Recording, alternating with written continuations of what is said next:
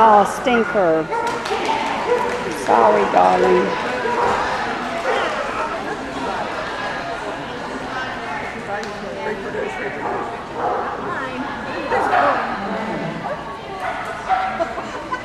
Good girl. I can't see the clock. 32.